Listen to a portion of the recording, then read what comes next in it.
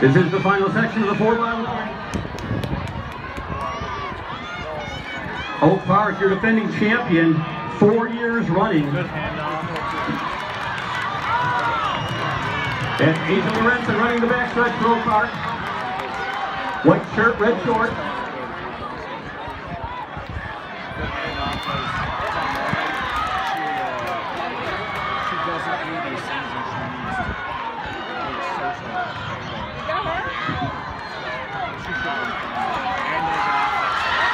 Good handoff for Oak Park, but they're not alone. That's not That's Renaissance, Detroit Renaissance.